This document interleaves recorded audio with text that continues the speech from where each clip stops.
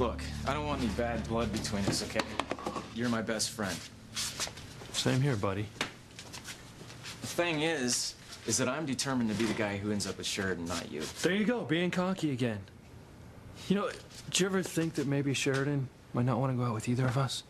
Look, Luis, like I said, okay, Sheridan's been all over the world. And she's never found the right guy. Now she's home in Harmony and she's dating the two of us. And she knows she can't do any better. Her only problem is which one of us to choose. Now, I may not have the money the Cranes do, okay? But I'm a Bennett. And my family goes farther back in Harmony than theirs does.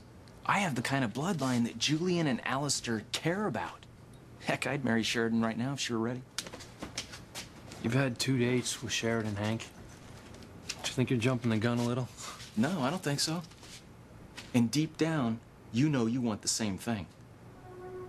Admit it, Luis. Sheridan's the woman you want to marry to. I think you've gone off the deep end, Hank. I've had one date with Sheridan. That's a far cry from marrying her. But it's crossed your mind, right?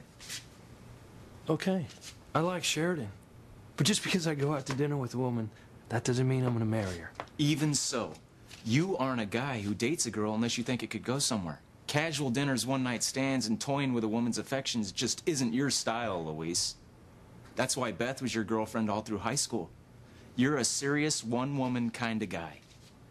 So for you to date a member of a family that you've hated for as long as I've known you, well, that tells me that you must really like Sheridan. And that maybe, just maybe, you even love her. You think that I'm in love with Sheridan? Well, if you aren't, you're well on your way. Hank, quit trying to mess with my head. Okay, let's say you and Sheridan fell head over heels in love, okay? Could your relationship really go anywhere? I mean, hell, the Cranes already tried bribing you with FBI training just to keep you and Sheridan apart. Only it didn't work. I'll make detective on my own. Yeah? Then what? Sheridan's from a different world, Luis. You could have Sam's job, even be elected mayor, and her family still won't approve of you. I don't care what her family thinks. Well, maybe not. But what about Sheridan? Can you imagine being cut off from your family? Because that's what Sheridan's facing if you two get serious. Even as bad as you think the Cranes are, they're the only family Sheridan has. And it wouldn't be easy for her to be cut off from them. Or fair. No, it wouldn't. Look, I'm talking to you not as your competition, but as your best buddy and Sheridan's friend. And if you know in your heart that this can't work, and you've even said yourself that you could never be Mr. Sheridan Crane, don't lead her on, Luis. Don't hurt Sheridan. Mama.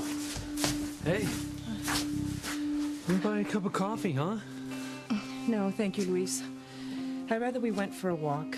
It'll give us a chance to talk. Sure. Something special on your mind?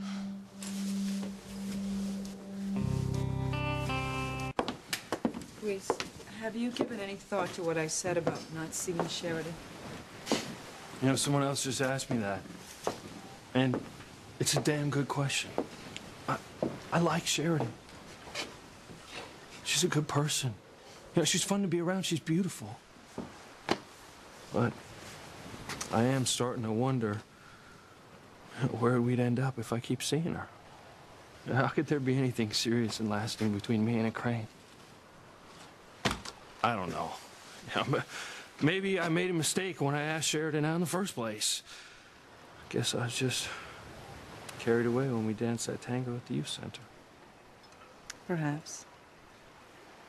But we had a great dinner. I mean, we really clicked. She's a wonderful woman, Sheridan. I love her dearly as I do you. But I don't want to see either of you get hurt, Luis. Yeah. And there's that lousy family of hers. Not to mention the fact that she's rich and I'm not. I know I could never live Sheridan's lifestyle any more than she could live mine. But it's not as simple as that, is it? No. I know logically that it would never work, but there's a part of me that wonders why. If two people want each other,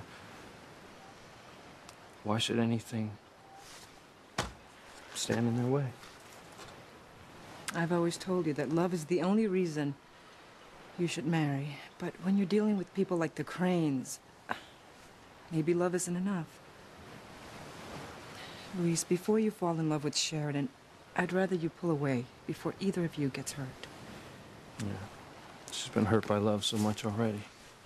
Yeah, she has, and I don't want you to add to her pain. Or to yours. Yeah. Well, guess I got a lot of serious thinking to do, don't I? Yes, you do. But I know that whatever you decide will be the right thing. For you and for Sheridan. Sheridan. How you doing? Good. Thanks. You? Yeah, I'm fine, thanks. Are you ready to go? Yes, I'm looking forward to our date. Well, I know we're gonna have a great time tonight.